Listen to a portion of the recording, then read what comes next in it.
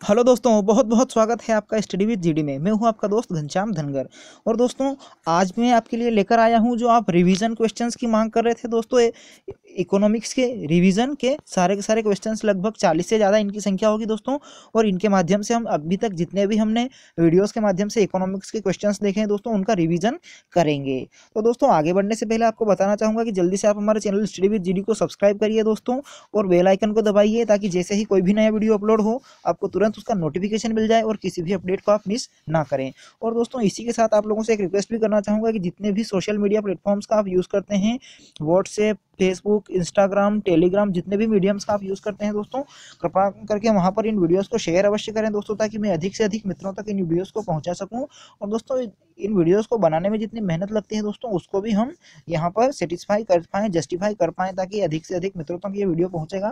तो दोस्तों, मैं अपने आप को अपने प्रयास में सफल भी समझूँगा। शुरू करते हैं दोस्तों, आज के इकोनॉमिक्स के सम्मिलित प्रश्न है दोस्तों, विभिन्न टॉपिक्स के, जिनके माध्यम से हम अपना रिवीजन करेंगे। सबसे पहला है वेल्थ ऑफ़ नेशंस पुस्तक किसने लिखी थी? तो दोस्तों, यह बहुत सरल प्रश्न है। एडम स्मिथ ने लिखी थी दोस्तों वेल्थ ऑफ़ नेशंस नाम की पुस्तक। और कब लिखी थी दोस्तों? तो ये लिखी थी सत्रह में।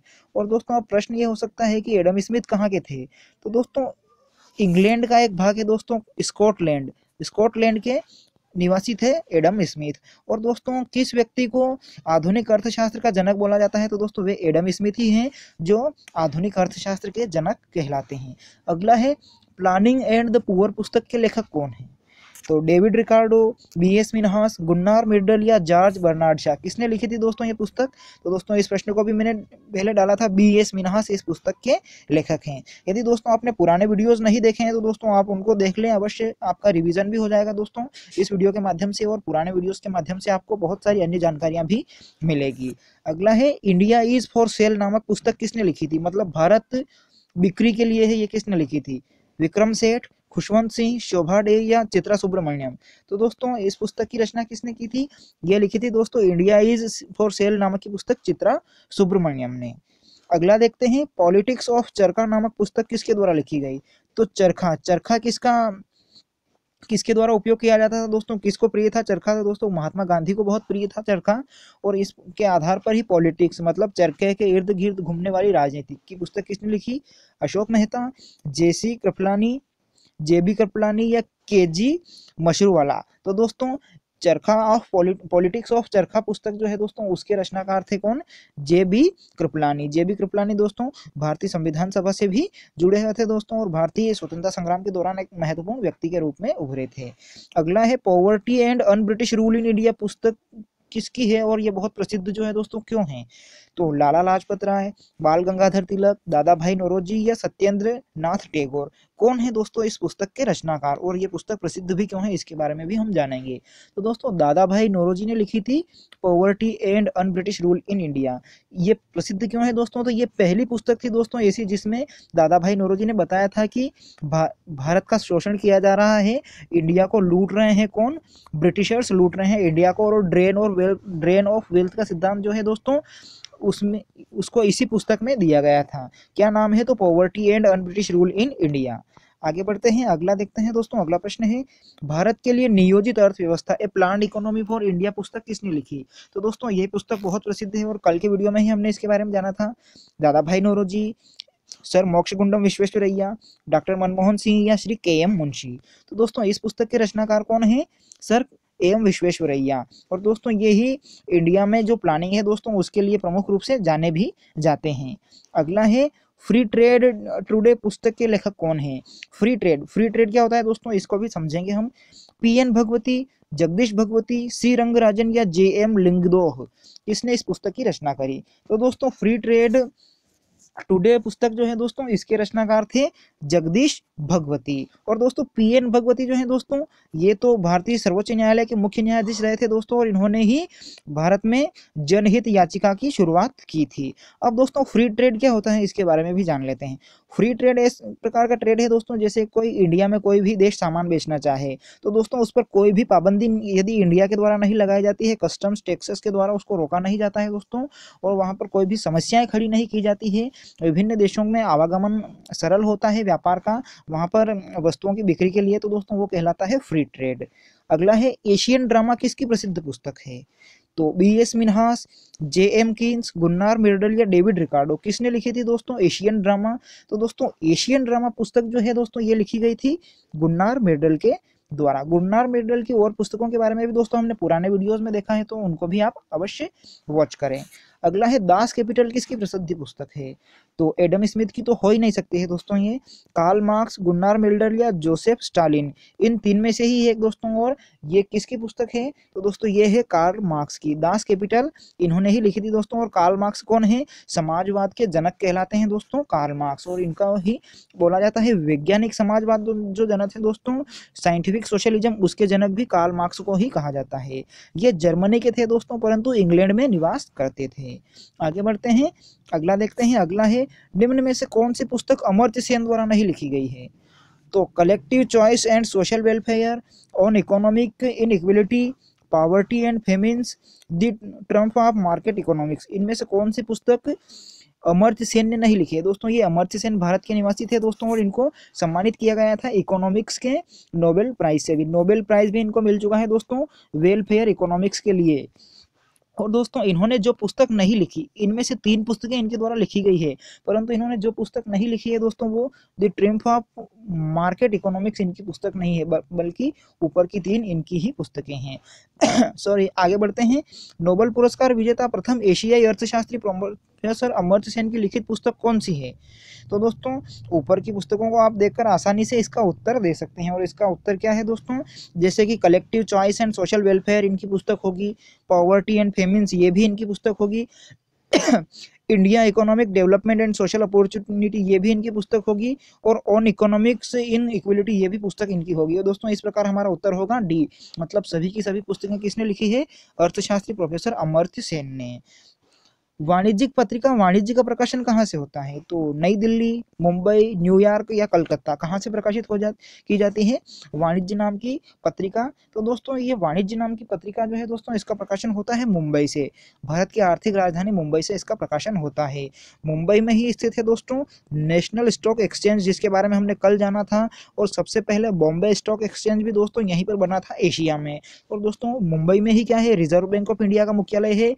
स्टेट बैंक ऑफ़ इंडिया का मुख्य मुख्यालय है और सेबी का मुख्यालय भी यहीं पे है। क्योंकि पुराने वीडियोस में हम देख चुके हैं दोस्तों तो सेबी के प्रमुख जो है दोस्तों, उनके बारे में भी मैंने आपको बताया है। उनका नाम आपको कमेंट में बताना है। ये आपके लिए एक प्रश्न है। आगे बढ़ते हैं, अगला देखते हैं। अगला प्रश्न है, योजना पत्रिका का प्रकाशन कहाँ से होता है? मतलब कौन प्रकाशित करता है योजना को? मानव संसाधन विकास मंत्रालय, सूचना और प्रसारण मंत्रालय, प्रकाशन विभाग या कोई नहीं? तो दोस्तों, योजना पत्रिका जो है दोस्तों, मासिक पत्रिका है और इसका प्रकाशन किया जाता है सूचना और प्रसारण मंत्रालय द्वारा। गोल्डन हैंडशेक स्कीम किससे संबंधित है? तो विदेशी कंपनियों को आमंत्रित करने से, सार्वजनिक उद्यमों में निजी निवेश करने से, संयुक्त उद्यम स्थापित करने से या स्वैच्छिक सेवानिवृत्ति से? तो दोस्तों, गोल्डन हैंडशेक स्कीम जो है दोस्तों, ये संबंधित है स्वेच्छक सेवानिवृत्ति से। किन चार देशों को एशियन टाइगर कहते हैं? तो दोस्तों, एशियन टाइगर्स कहलाते हैं हांगकांग, सिंगापुर, कोरिया और ताइवान। इन दोनों, दक्षिण कोरिया और ताइवान, इन चार देशों को मिलाकर बनाया जाता है। कौन सा? एक्रोनिम एशियन टाइगर्स इनके लिए ये प्रयुक्त किया जाता है। आगे बढ़ते हैं, अगला देखते हैं, अगला है अर्थशास्त्र का नोबल पुरस्कार किसने स्थापित किया? तो दोस्तों, अर्थशास्त्र का नोबल कौन देता है? अल्फ्रेड नोबल की समिति, स्वीडन का सेंट्रल बैंक, नोबल समिति या विश्व बैंक? तो दोस्तों, अर्थशास्त्र का नोबल जहाँ से दिया जाता है वो क्या है? स्वीडन का सेंट्रल बैंक। स्वीडन से दिया जाता है दोस्तों अर्थशास्त्र का नोबल। और दोस्तों बाकी के नोबल कहाँ से दिए जाते हैं? तो ये दिए जाते हैं नॉर्वे से। अगला है द फ्यूचर ऑफ़ इंडिया नामक पुस्तक किसने लिखी? बिमल जालान दीपक चोपड़ा, अमिताभ घोष या एन के सिंह तो दोस्तों द फ्यूचर ऑफ़ इंडिया नाम की पुस्तक के जो लेखक हैं दोस्तों वे हैं बिमल जालान और दोस्तों एन के सिंह जो वर्तमान में पंद्रवा वित्त आयोग बनाया गया है दोस्तों, उसके अध्यक्ष हैं। भारत में सबसे पहले किस राज्य में मूल्य वर्धित कर मतलब वेट वैल्यू एडेड टैक्स लागू हुआ? तो दोस्तों वैल्यू एडेड टैक्स सबसे पहले इंडिया में, हरियाणा में लागू किया गया था। हरियाणा के वर्तमान मुख्यमंत्री कौन है? तो दोस्तों, वर्तमान में मनोहर लाल खट्टर वर्तमान में हरियाणा के मुख्यमंत्री है। राजधानी है चंडीगढ़। निम्न में से किस अर्थशास्त्री को अर्थशास्त्र का जनक कहते हैं? तो दोस्तों, अर्थशास्त्र का जनक आप आसानी से बता सकेंगे, क्योंकि पहले के वीडियो में बता दिया हम इसी वीडियो में आगे भी बताया है एडम स्मिथ। मध्यान्ह भोजन योजना किससे संबंधित नहीं है? तो शैक्षणिक उन्नतिकरण से, सामाजिक क्षमता से, भोजन का अधिकार से या शिशु के पोषण से, इनमें से किससे मध्यान्ह भोजन योजना संबंधित नहीं है? तो दोस्तों मध्यान्ह भोजन योजना का भोजन के अधिकार से कोई लेना देना नहीं है। शैक्षणिक उन्नतिकरण से है ताकि बच्चों को भोजन मिलेगा तो वे स्कूल में आएँगे, सामाजिक क्षमता भी बढ़ेगी और शिशुओं का पोषण भी बढ़ेगा, पर यह भोजन के अधिकार के अंतर्गत नहीं आता है। अगला है दोस्तों, मोड वेट किससे संबंधित है? मॉडिफाइड वैल्यू एडेड टैक्स का संबंध किससे है? तो दोस्तों, ये टैक्स से संबंधित है मूल्यवर्धित कर से। वैल्यू एडेड टैक्स का ही मॉडिफाइड मॉडिफिकेशन जब किया गया तो मोड वेट बन गया। आधार क्या है? तो दोस्तों, आधार क्या है? आधार के बारे में सब जानते हैं दोस्तों। भारतीय नागरिकों की विशिष्ट पहचान के लिए ये बनाया गया है दोस्तों। किसके unique identification authority of India limited इसको डायरेक्ट करता है। भारत में न्यूनतम मजदूरी अधिनियम कब लागू किया गया? तो दोस्तों, भारत में न्यूनतम मजदूरी अधिनियम लागू किया गया था सन 1948 में, स्वतंत्रता के अगले ही वर्ष। अगला है इंदिरा आवास योजना, किन लोगों को आवास में सहायता देने वाली योजना है? तो विकलांगों को, अनाथों को, गरीब ग्रामीणों को या गरीब नगरवासियों को, किन के लिए इंदिरा आवास योजना शुरू की गई थी? तो दोस्तों, इंदिरा आवास योजना का लक्ष्य रखा गया था गरीब ग्रामीणों को आवास उपलब्ध कराने से उनको आर्थिक सहायता दी जाती है ताकि वे अपना पक्का मकान बना सकें स्वयं का। अगला देखते हैं। अगला है दोस्तों, एक मार्ग क्या है? तो दोस्तों, एक मार्ग को भी मैं पहले के वीडियो में बता चुका हूँ, जो पदार्थों की गुणवत्ता के लिए प्रयोग किया जाता है दोस्तों, एक मार्ग और विशेष रूप से किससे? खाद्य पदार्थों के लिए। जैसे कि घी हो गया दोस्तों, इसके द्वारा अलावा विभिन्न जो चीज़ें होती हैं, उनको एक मार्ग से जस्टिफाई किया जाता है। ट्रिप्स और ट्रिम्स पद किससे संबंधित है? तो दोस्तों, ट्रिप्स और TRIMS I M F W T O I B R D I D A किनसे संबंधित होंगे दोस्तों, ट्रिप्स और ट्रिम्स। तो दोस्तों, ट्रिप्स और ट्रिम्स का संबंध है World Bank World Trade Organization से।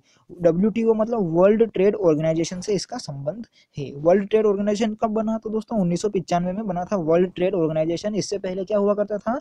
GATT, General Tariff and Trade on General Tariff and Trade GATT इसका पुराना रूप हुआ करता था। गेट का स्थान किसने ले लिया? तो दोस्तों वर्ल्ड ट्रेड ऑर्गेनाइजेशन ने। आगे बढ़ते हैं दोस्तों। अगला देखते हैं कार्ल मार्क्स निम्न में से किस देश के थे?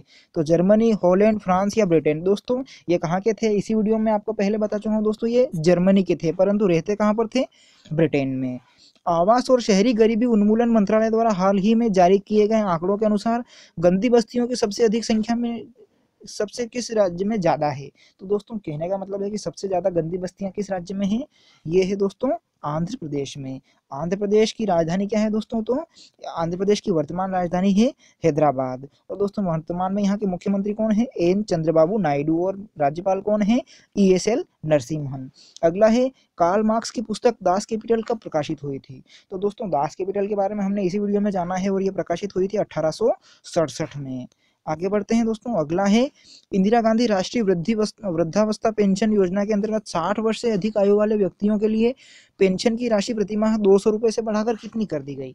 तो पहले दो सौ रुपये दी जाती थी दोस्तों, अब हो गई है ये पाँच सौ रुपये। भारत सरकार ने निम्न में से किस कल्याण योजना को शुरू किया? जीवन आधार, जीवन कोलम, कोमल मध्यान्ह भोजन, जीवन अमृत या जीवन मित्र। तो दोस्तों, भारत सरकार द्वारा जिस योजना को शुरू किया गया है, दोस्तों, वो कौन सी है? जीवन मित्र नाम की योजना। ये मध्यान्ह भोजन भारत सरकार की योजना नहीं है, ये राज्य सरकारों की योजना है। निम्न में से कौन सी योजना भारत सरकार द्वारा शुरू नहीं की गई? तो दोस्तों, वृद्धावस्था पेंशन, भारत निर्माण, कुटीर ज्योति, स्वच्छ जल या जीवन तरंग। इनमें से जो केंद्र सरकार ने या भारत सरकार ने शुरू नहीं की है, दोस्तों, वो कौन सी योजना है? वो है जीवन तरंग। बाकी सब केंद्र सरकार की योजनाएँ हैं। महात्मा गांधी राष्ट्रीय ग्रामीण रोज़गार अधिनियम के अंतर्गत कार्यरत कामगारों की मजदूरी अब किस पर आधारित है? तो दोस्तों, कार्यरत कामगारों को जो मजदूरी दी जाती है, दोस्तों, वो निर्भर करती है उपभोक्ता मूल्य सूचकांक पर। आगे बढ़ते हैं, अगला देखते हैं दोस्तों। भारत के समस्त प्रदेश में स्थित गाँव प्रधानमंत्री ग्राम सड़क योजना के अंतर्गत आते हैं। यदि उस गाँव की जनसंख्या क्या हो? मतलब प्रधानमंत्री ग्राम सड़क योजना के अंतर्गत सड़क बननी है तो न्यूनतम वहाँ पर कितने निवासी होने चाहिए जिस गाँव को जोड़ा जाना है? तो वहाँ पर दोस्तों कम से कम एक हज़ार निवासी उस गाँव में होने चाहिए। भारत के शहरों को गंदी बस्ती रहित बनाने के लिए कौन सी योजना शुरू की गई? तो दोस्तों, भारत को गंदी बस्ती रहित बनाने के लिए दोस्तों योजना शुरू की गई थी। उसका नाम क्या था? तो राजीव आवास योजना। प्रधानमंत्री राजीव गांधी के नाम पर इसको शुरू किया गया था। नियमित रूप से स्कूल जाने हेतु बच्चों को प्रेरित करने के लिए भारत सरकार द्वारा निम्न में से कौन सी रोज़गार योजना शुरू की गई?